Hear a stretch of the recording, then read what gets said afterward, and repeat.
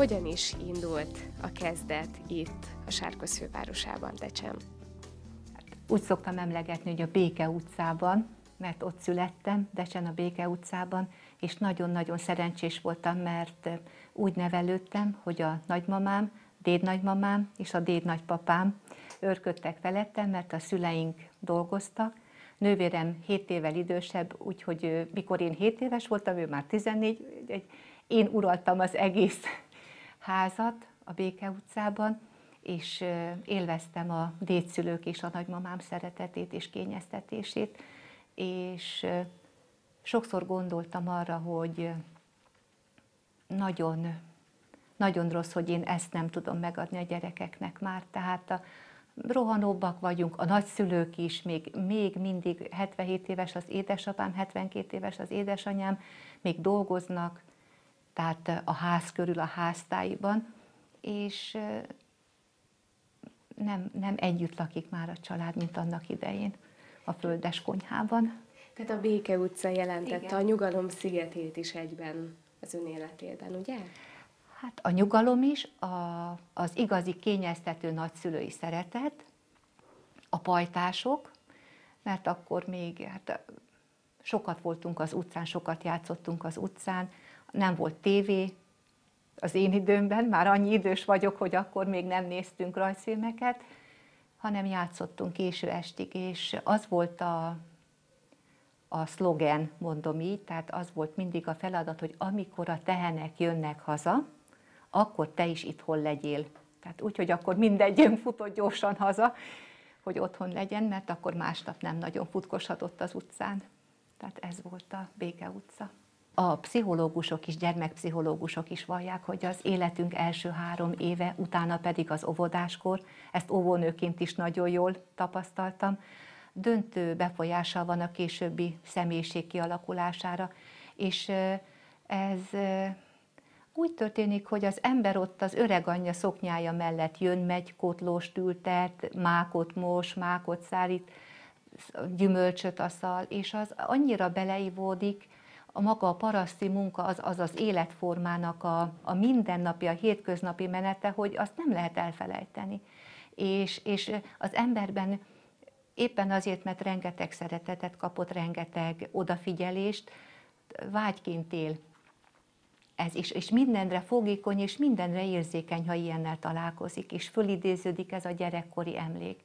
Pont múlt nap gondolkodtam, hogy, hogy milyen nagyon kár, hogy nem gondoltam, a gyereki észszel, meg még, még fiatal lányként is nem gondolja végig az ember, hogy, hogy pontról pontra le kellett volna írnom, hogy a nagymamám nekem zsebkendőből hogy hajtogatott cicát és a végén elugrott a tenyeréből. Tehát, mert úgy gondoltam, hogy tudom, hogy úgy gondoltam, hogy én azt megjegyeztem, hogy hogy kell a teljes pogácsát, az édes pogácsát sütni, és nem tudom. Tehát mindent le kellett volna írni, és, és most ugyanott tartunk az, a szüleimmel, hogy mikor mesélnek, hát ők is nagyon, nagyon-nagyon sok szeretettel gondolnak vissza nagyszüle, nagyszüleikre, a, amikor ők gyerekek voltak a rokonságra, azt is le kellene írni, meg a szokásokat, meg mindent, hogy mi volt, hogy volt poszetokon, szóról szóra, mert mikor mondják, akkor az ember, ah, hát én ezt, én ezt nem felejtem el, én ezt már tudom, és nagyon sokszor bizony nem jól gondoljuk, tehát mindent pontosan meg kellene jegyezni ezekről a dolgokról.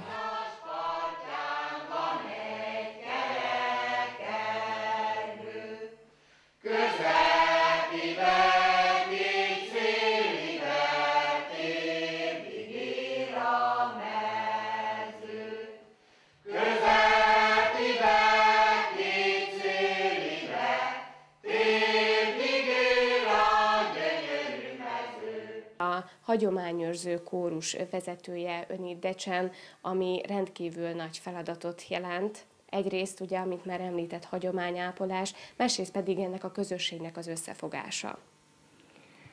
Hát a hagyományápolás az, az, az az én feladatom, a közösség összefogása, tehát nagyon nagy segítség az Egyesület vezetője ebben, nekem a Nyúl László, sajnos a Szekeres Pityúval kezdtük, ő már nincs közöttünk, a Szalai Éva, az, a, aki a, a hivatalos ügyeket intézi, buszt rendel, tehát nekem az a dolgom, hogy, hogy énekeljünk. Tehát és ez, ez szerintem a könnyebbik oldala már, mikor oda felvonul a kórus, és csak énekelni kell. És azért könnyű, mert mert valahogy az emberben benne van, mi például a, otthon a családban nem énekel, a nagymam, nem emlékszem, hogy énekeltünk volna, hanem az az, az életritmus van az emberben, hogy, hogy érzi a ritmust, tehát mert a, a hangulatokat pontosan ki tudja énekelni, és hát ugye, ha van fülünk, akkor azt halljuk, hogy hamis vagy nem hamis, tehát ez, ez, a, ez a hagyományápolásban a,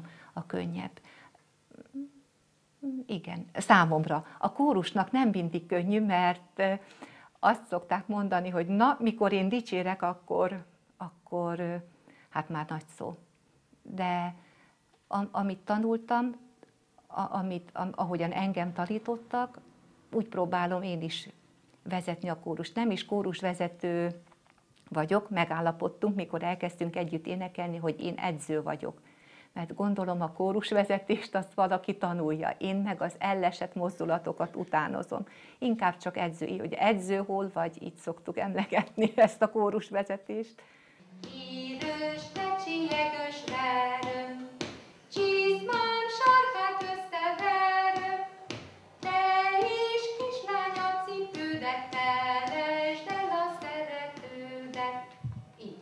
énekelnek velünk olyan asszonyok, akik annak idén Vaslajos féle röpőpávában énekeltek és indultak. Tehát ők azóta is jönnek és énekelnek, és, és kötelességüknek érzik. Van, van nagyon sokszor, mikor fáradtak vagyunk, és hogy talán nem kellene, de mi, mindig van valami erő, ami előre visz bennünket. A népviseletek, tehát azt mondhatom, hogy, a, hogy elég sokat áldoznak rá, mert egy decsi népviselet nem két fillér, és nem is volt régen, a régi időkben sem, mert igen, csak a lioni sejmek és a mindenféle szépséget összeszedtek a, az asszonyok, és ezt mindenki maga. Tehát vagy vesz ruhát, vagy, vagy gondozza, ápolja a meglevőt, és, és ennek a karbantartás, és tehát például a, a rokójáknak a keményítése, tehát ez egy komoly feladat, még az éneklés mellett. Az önkormányzat mellett pedig én, amit így hallok a, a, a hagyomány ápolás támogatásáról, nagyon sok szponzor, nagyon sok támogató van, aki képviselők között is nagyon sok támogatónk van, aki, akik szükségesnek tartja, hogy, hogy, hogy lehessen egy újabb ruhát venni, vagy, vagy mondjuk egy újabb tánchoz illő öltözetet varratni, bőgatyát, bőinget a fiataloknak. Tehát elég sokan vannak, akik ezt komolyan veszik, és, és tulajdonképpen a tapsért, és azért, hogy, hogy elénekelhessék, és eltáncolhassák, azért, azért, azért csinálják.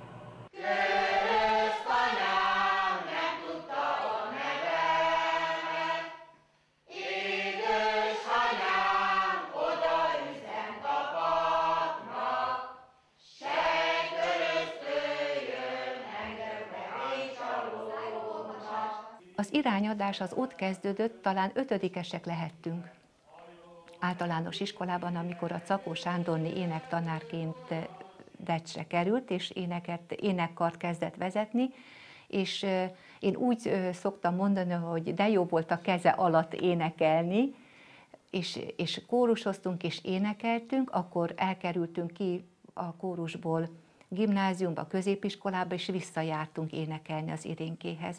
Úgyhogy 16 évesen az Ósvai tanár úr vett fel velünk egy-két sokrot népdalainkból, és tulajdonképpen a népdalokat azt a Szakó Sándornétól tanultam.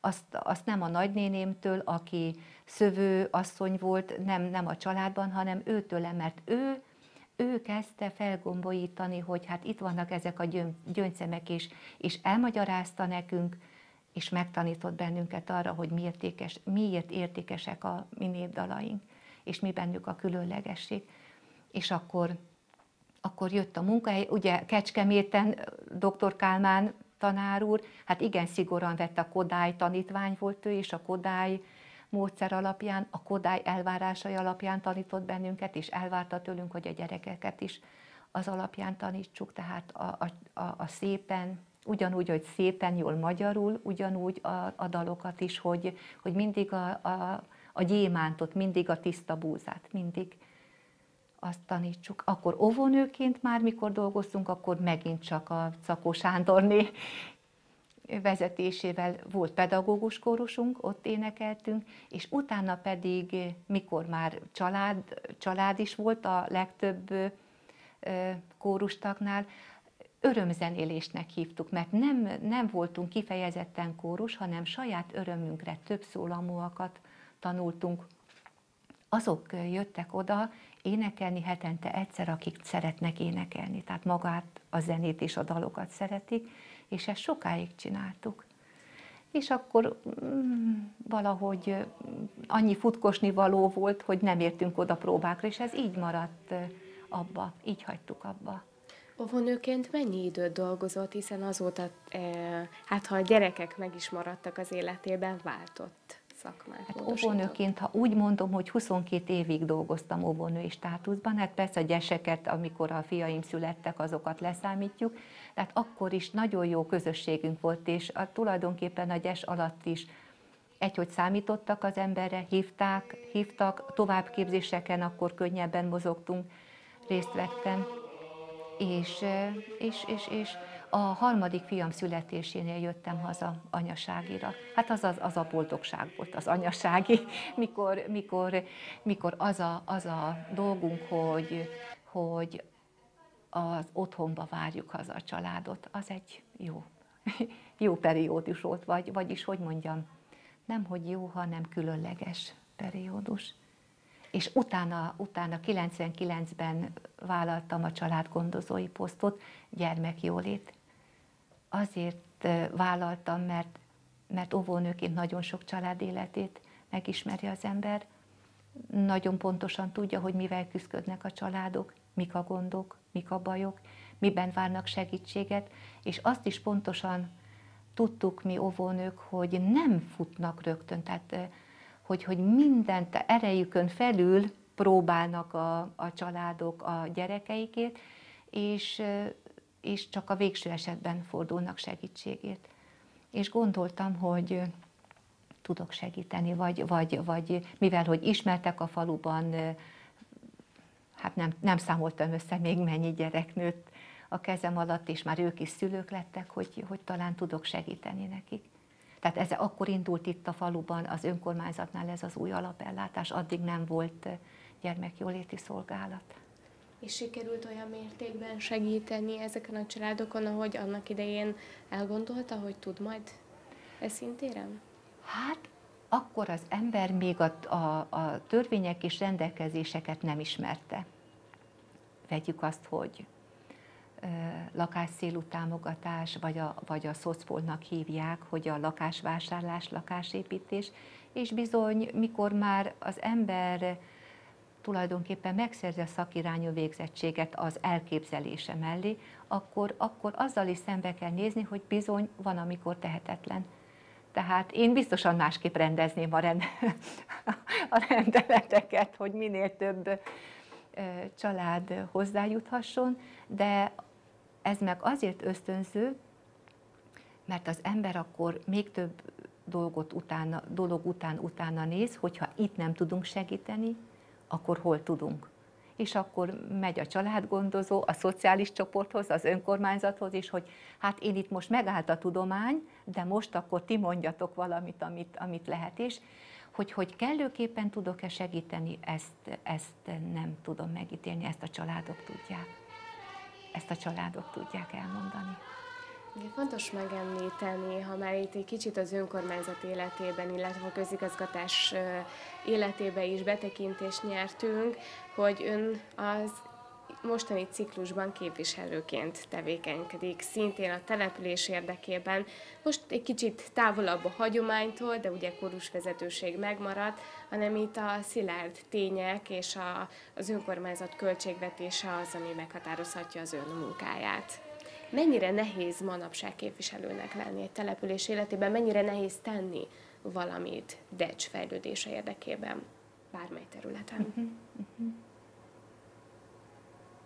Hát tulajdonképpen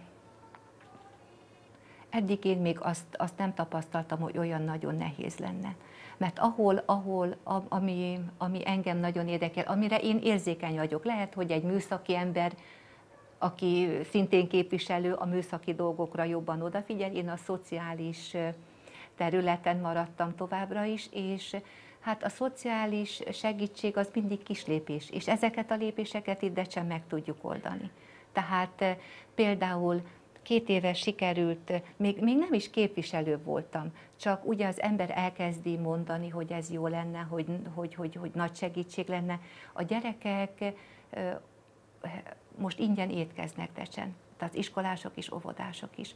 Azért, mert a segélykeretből az önkormányzat a, a, a központi, tehát a normatív támogatás mellé a fennmaradó összeget odautalja, akkor a tankönyv támogatás. Ugyanúgy a normatív, tehát a, a tankönyv támogatás mellé oda, odautaljuk a segélykeretből is, te, akkor az idős emberek, az idős emberek, tehát talán azért vagyok érzékeny az ő gondjaikra, mert öreg emberek között nevelődtem, és itt, itt kanyarodunk vissza ugye a gyerekkorra, hogy, hogy, hogy valahogy az ember lelke azért érzékeny marad 48 év után is az öregek gondjaira, ők meg olyan nagyon megértőek, és olyan apró dolgokkal is beérik, és olyan apró dolgok is örömet okoznak nekik is, megelégedést, hogy, hogy például a, hogy, hogy a füvet lenyírja az önkormányzat a házuk előtt, vagy a házhoz szállítják az ebédet, hogy ne kelljen nekik az idősek klubjába menni ebédelni a télen a nagy hóban, hogy számon tartjuk, hogy ki az, akinél a havat el kell lapátolni. Tehát, hogy mennyire nehéz. Az ember teszi a dolgát, úgy nem is gondoltam végig, hogy nehéz. Ott, ott, ott a nehéz, hogy mondjuk kórusvezetőként én mást kívánnék, mondjuk egy kis több finanszírozást, viszont képviselőként meg nagyon meg kell érteni azt, hogy hát most erre csak ez jut, mert most valóban nem lehet hagyományápolásra többet költeni, mikor mondjuk orvosi ügyeletről van szó, vagy közgyógyellátásról, hát akkor, akkor így mérlegel az ember, hogy most, és akkor elteszi a vágyait egy következő alkalomra, és figyeli a lehetőséget, hogy, hogy na mikor hozhat elő dolgokat hagyományőrzés kapcsán. És a pályázatok, tehát az abban is nagy segítség, hogy, így a hagyományőrzésben, hogy a pályázatokat figyeljük, sőt most már az önkormányzatnál külön stáb figyeli a pályázatokat, fiatal, lelkes hölgyek, és hát ez is mondjuk segít abban, hogy az ember alárendelje a képviselői dolgainak az egyéb dolgokat. De megint, hogy elkanyarodtam, de hogy nehéze, meg hogy az ember hogy teljesít, az talán majd mikor a ciklus zárul, és indul a következő választás, meg mindannyiunk, akkor leszünk mérlegre helyezve, és megmérettetünk, hogy, hogy tettünk-e valamit, azt hogy ítélték meg, segítség volt-e, jól tettük-e, amit tettünk. Hát ez majd akkor derül ki. Alapvetően azért optimista szemléletű ember, ugye? Hát optimista vagyok, azért sokszor, el, sokszor, sokszor el is keseredek, de az a, azt szoktam mondani, most nagyon őszintén azt szoktam mondani így a családban is, hogy ha van egészségünk, akkor mindent, és béke van körülöttünk, béke van a lelkünkben, béke van körülöttünk a faluban, az országban, a világon, akkor mindent meg lehet. Mindent, mindent elérhetünk, mindent meg tudunk csinálni. Hogyan tovább? Ugye két év múlva ismét van egy megmérettetés, választások előtt állunk. Ugye van most a kórusvezetés, van három gyönyörű fia, családja, van azért itt még feladat mellé. Sikerül még valamit a nyakába vennie? Vagy ennyi elég? Hát szerintem ennyi elég, ennyi elég, és nagyon jó, hogy így rákérdezett, mert azt el kell mondani, hogy mindez, hogy ez így működik, és hétről hétre próba, hétvégeken mondjuk fellépés. A két nagyobbik fiam táncol úgy, hogyha legalább akkor ott együtt vagyunk, mikor mi énekelünk, ők táncolnak. Ez csak úgy működhetett És a képviselői munka is úgy működik, hogy a férjem, akkor ő tartja itthon a frontot. Tehát akkor ő helyettesít, akkor ő apa, ő anya, és én, és én úgy vagyok útra bocsát, hogy menjen nyugodtan, majd amikor jössz, jössz, ha kell, akkor visz, ha kell, akkor megvár, ha kell, akkor hozza a harmadik fiút, mert ő, ő, ő szép hang, ő, ő szeret énekelni, akkor van, amikor a Mátét is visszük. És az, hogy az édesanyám, mikor azt mondja, hogy de főzök ám bablevest, ne legyen rá gondod. Ez így működik. Tehát mindig és kezdettől fogva az óvónői munka is, ahogy működött, és a, most a kórusvezetés és a képviselői munka is, és a gyermekjólét is, hogy ahogy így tudom teljesíteni a feladatokat, az, az hogy, hogy sokan állnak a hátam mögött.